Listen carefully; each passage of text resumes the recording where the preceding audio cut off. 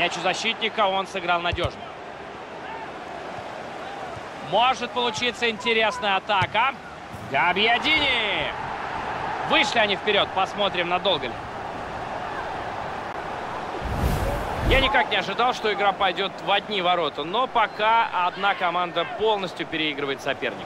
Да, они уже не раз могли забить, и если нам покажут статистику, мы, наверное, увидим это преимущество в цифрах. 1-0 в нашей игре.